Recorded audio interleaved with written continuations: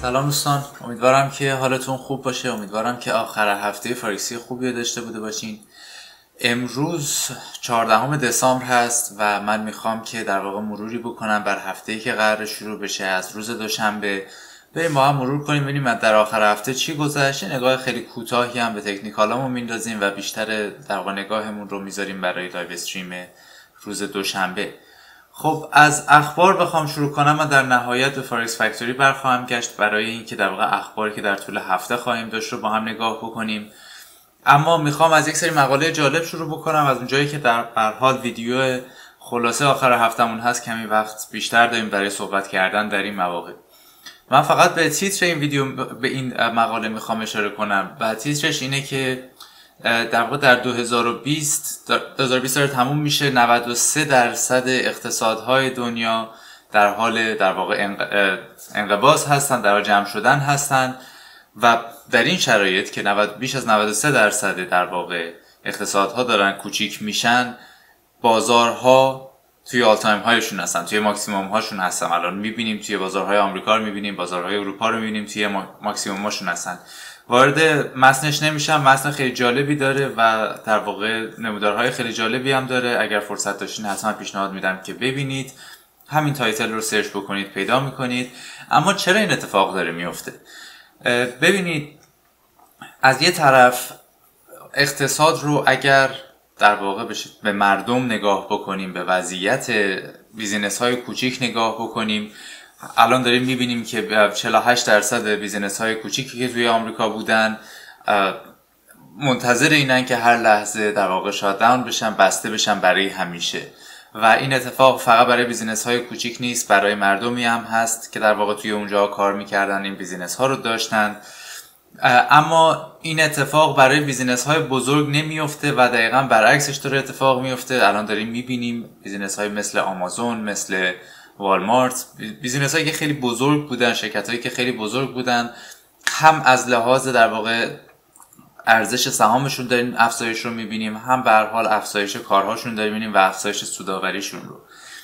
علت چیه؟ علت چیزی است که در واقع بارها در موردش صحبت کردیم توی این کانال. در علت بسته حمایتی مالی که در واقع فدرال رزرو تهیه می‌کنه سیاست های مالی که دولت آمریکا تعیین می‌کنه. و البته اخبار خوبی که کم کم داره می‌رسه. ببینید در 6 7 ماه اخیر چیزی که دیدیم این بود که تریلیون ها دلار پول چاپ شد. حالا به انواع مختلف به شکل خرید باند به شکل خرید استاک پول تزریق شد به سیستم. نقدینگی تزریق شد به سیستم نه فقط از طرف آمریکا از طرف تمامی کشورها از طرف ژاپن داشتیم تزریق ین رو داشتیم از اروپا یورو رو داشتیم و این قضیه در سال 2021 هم ادامه خواهد داشت. علت اینکه ما در طولانی مدت پولیش هستیم روی بازار بورس. همین تزریق لیکویدیتی همین تزریق نقدینگی است که در واقع کشورهای مختلف دنیا انجام خواهند داد. در سال 2021 برای ادامه روندی که در سال 2020 شروع کردن ببینید 2020 رو داریم به پایان می‌بریم. اخبار خوبی از واکسن داریم اما نهایی شدن و عملی شدن این واکسن ها و در واقع امن شدن جامعه ها نیازمند در واقع زمان هست. حداقل یک سال زمان خوشبینانه ترین حالتش یک سال زمان زمان عددش من دارم نمیگم فاوچی دکتر فاوچی داره میگه. و توی این مدت نمی‌تونن دولت ها دست بکشن بگن خب ما پول رو تزریق کردیم این یه سال رو دیگه با پولایی که تزریق کردیم صرف کنیم نه مجبورند که روند رو ادامه بدن برای اینکه جلوگیری کنن از یک recession از یک depression و این به چه معنا خواهد بود؟ این به معنای افزایش قیمت دارایی هایی خواهد بود. همه دارایی ها به نوعی خواهد بود. از بازار بورس بگیرین از بیت کوین بگیرین تا در واقع طلا و فلزات با ارزش دیگه. بحث طلا شد. من این مقاله رو می‌خوام در واقع بخونم باتون خیلی کوتاه چند تا نکتهش رو می‌خوام اشاره کنم. اولا چهار تا مورد ثبت کرده برای اینکه توجیه کنه چرا در چند ماه اخیر ما افت رو داشتیم در قیمت طلا. بیاین من یه نگاه کوتاه اولا به در واقع خود نمودار طلا با هم بندازیم. کمی خلوتتر کنم نمودار رو. ببینید این نمودار روزانه است که الان داریم با هم می‌بینیم. خب بعد از این قعری که در واقع به خاطر ویروس کرونا اینجا داشتیم یک رشد قابل قبول رو داشتیم به سمت بالا و بعد از اون توی یک تصیح توی کرکشن به سمت پایین قرار گرفتیم. هفته پیش حتی 1760 دلار رو هم یک سری بهش زدیم و در واقع در طول هفته پیش رشد داشتیم تا 1870 و الان هم در همون هلوش 1800 داریم ترید می‌کنیم. سوال اینه که این رنج این بازه که اینجا بود چرا به وجود اومد؟ علتش چی بود؟ اینجا چهار تا دلیل براش میاره. اولیش افزایش نرخ بهره بانکی. خب همونطور که می‌دونیم در واقع نرخ بهره بانکی و قیمت طلا نسبت عکس داره با هم. توی آگوست 2020 من در مورد آمریکا فقط هم صحبت می‌کنم. توی آگوست 2020 نرخ بهره بانکی 10 ساله آمریکا تریجری note 10 ساله آمریکا 0 ممیز 508 درصد رسید و از اون موقع در حال افزایشه و خب می‌دونیم که افزایش قیمت گفتیم افزایش نرخ بهره افزایش قیمت رو به همراه خواهد داشت. موضوع دوم بحث election بحث انتخابات بود. به حال ریسکی بود که در واقع سرمایه‌گذارا داشتن بهش نگاه می‌کردن. این ریسک از بین رفت بعد از اینکه در واقع بایدن انتخاب شد. مخصوصا بعد باز خبرهای مثبت بعدی که در واقع ترامپ تایید کرد. این ریسک رو گذاشت کنار و کم شدن ریسک یه جورایی در واقع ملت رو سرمایه‌گذاران رو برگردوند به بازار بورس و در واقع asset های ریسکی تر و کمی دور کرد از طلا به عنوان دارایی امن. بحث سوم بحث خبرهای خوبی بود که از واکسن ها داشتیم. سه تا واکسن مختلف رو داشتیم که تایید شد. الان تو کماکان خبرهای خوب دونه دونه داره میاد که پخش شد اولی زده شد فلان فلان فلان چه کشورهای مختلف تایید کردن و اینها هم قطعا به ضرر طلا بوده. همونطور که دیدیم توی در واقع تغییر قیمت ها و بحث آخر بحث چهارم بحث در واقع تکنیکال ها هست. نگیم تکنیکال ها ببینید با عددی که ما به عنوان قیمت طلا می‌بینیم قیمت طلا فیزیکی نیست. شما اگر بخواید برین یک میلیون شمش طلا بخرین قیمتش خیلی متفاوت خواهد بود با قیمت اونس طلایی که در واقع دارین.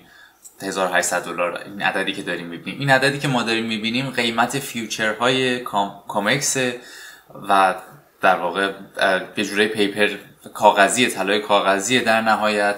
و بسیار لورج شده است. هرچند که دنبال می‌کنه قیمت اصلی طلا رو اما اون نیست.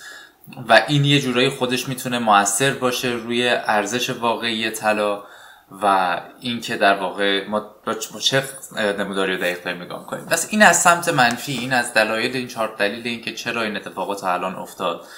اما اگر سمت مثبتش رو هم بخوایم نگاه کنیم خب اولا از لحاظ technical اگر بخوایم ببینیم 200 DMA moving average 200 روزه طلا moving average ساده 200 روزه رو ببینیم می‌بینیم که دو بار برای ما support نشون داد. یکی در هنگام در واقع سقوطی که به خاطرش بحران نقدینگی داشتیم در شروع ویروس کرونا و یکی هم همین اخیر وقتی که در واقع اسپایک بک زدیم.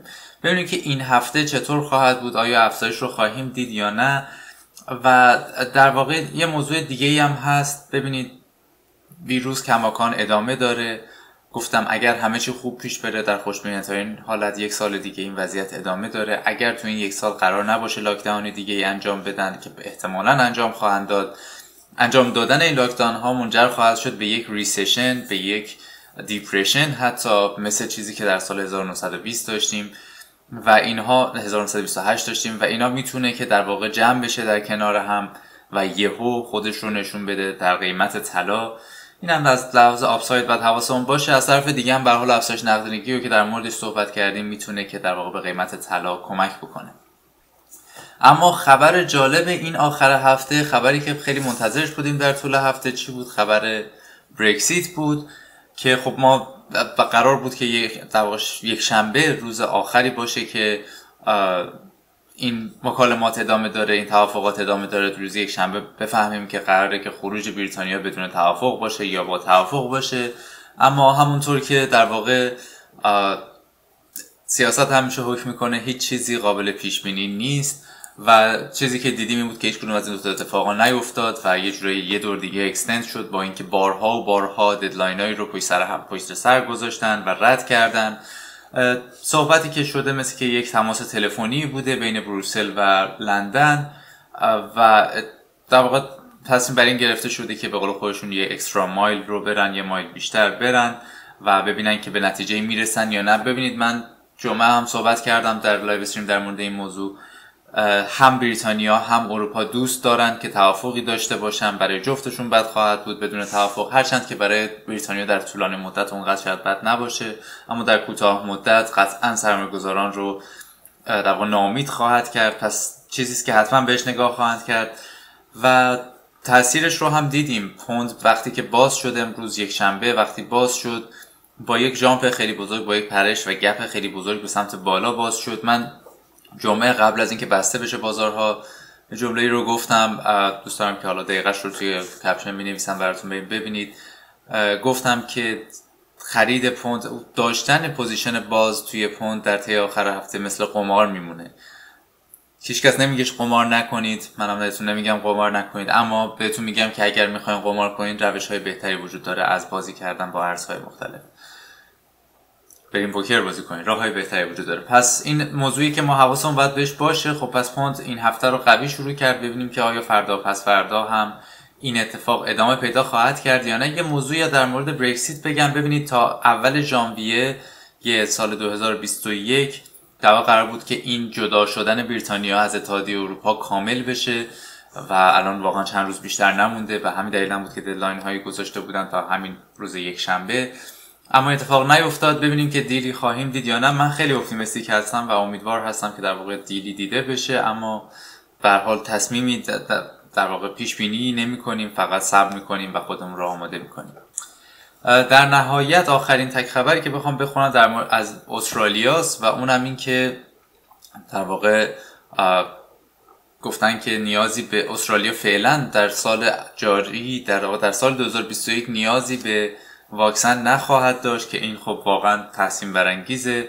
استرالیا الان هشت روزه که در واقع هیچ انتقال نفر به نفری در جامعه نداشته و خب این هم باز تحسین برانگیزه. خیلی جالبه که در واقع وضعیت کاملا متفاوتی داره بحث ویروس کرونا در استرالیا و همچنین نیوزیلند. نیوزیلند هم اگه خاطرتون باشه در همون اوایل خیلی زود به این state رسیدن که case جدید نداشتن. الان update ش مد نظر تو ذهنم نیست باید بریم نگاه بکنیم. اما بریم ببینیم که در هفته آتی چی در انتظارمونه روز دوشنبه و سهشنبه روزهای خلوت و خالی رو داریم. خبر بزرگی حداقل نیست که بخوایم منتظرش باشیم. اما روز چهارشنبه از اتحادیه اروپا از فرانسه و آلمان پی ام آی رو داریم که خروج به همون خواهد گفته خواهد شد. همچنین روز چهارشنبه اوپک رو داریم. جلسه اوپک هست. و از آمریکا FOMC میتینگ و همچنین آی رو داریم. از طرف دیگه روز پنجشنبه روز پنجشنبه هم روز شروع کنن چهارشنبه و پنجشنبه هفته دیگه پر از عدد خواهد بود. روز پنجشنبه دوباره ادامه FOMC press conference رو داریم از نیوزیلند GDP رو داریم از استرالیا نرخ بیکاری رو داریم از سوئیس یک monetary policy شون رو داریم ببینیم که در واقع نرخ بهره رو تغییر خواهند داد یا خیر. و از در واقع بریتانیا از پوند هم در واقع نرخ بهره بانکی رو خواهیم داشت. در نهایت روز جمعه هم از ین در monetary policy statement رو خواهیم داشت. هفته مهمی هست هفته پرخبری هست. دونه دونه مرحله به مرحله که پیش بریم در ویدیو هامون بهش خواهیم پرداخت و ببینیم که چطور هست. من پنج دقیقه آخر رو هم در واقع به بررسی خیلی کوتاهی از بازارهامون می‌پردازیم. بریم تو time frame روزانه نگاه کنیم. کمی نگاه متفاوت تری رو بگیریم. این این آخرین چیزی که داریم می‌بینیم آخرین candle ی که داریم می‌بینیم candle ی که الان تشکیل شده. به این کاری نداریم.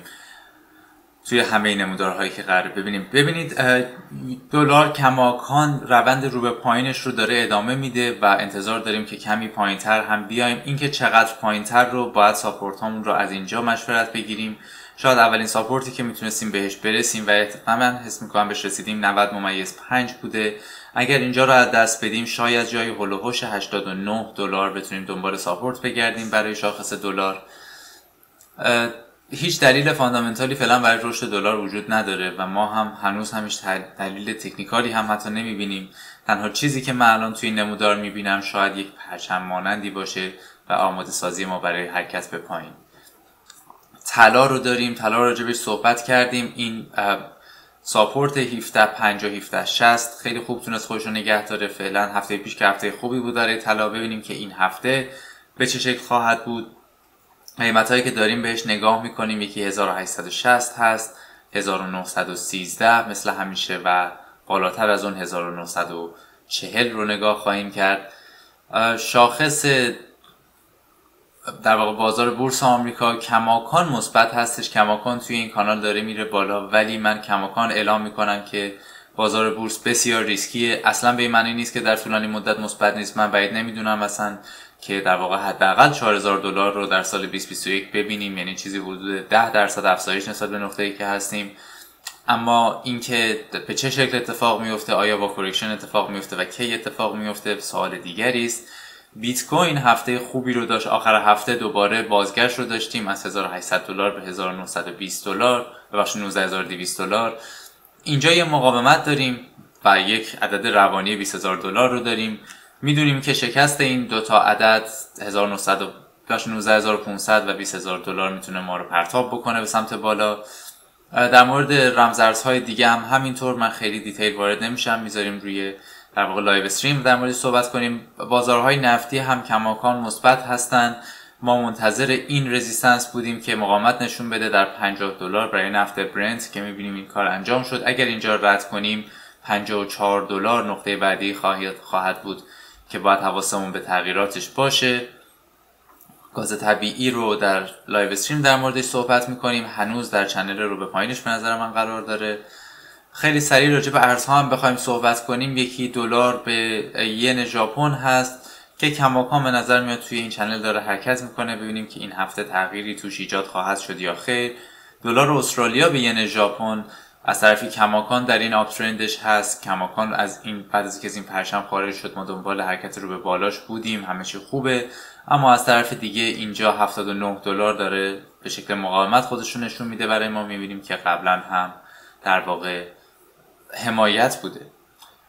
یورو رو هم نگاه کنیم. اول از یورو به پوند شروع کنیم. گفتم که فعلا ما سعی می‌کنیم دوری کنیم از یورو به پوند.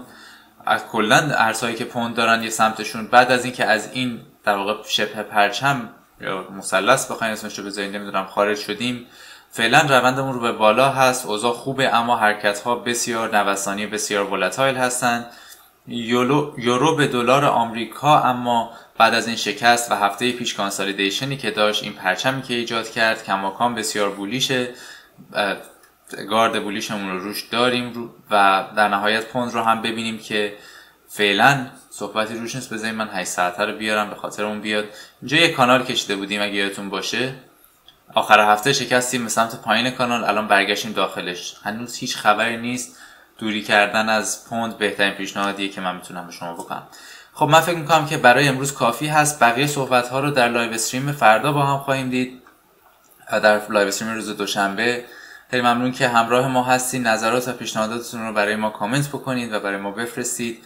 لایک کردن ویدیو هم به ما انرژی میده هم به الگوریتم اینستاگرام کمک می‌کنه که بیشتر دیده بشین مراقب خودتون باشین. به زودی میبینمتون و خدا نگهدارتون باشین.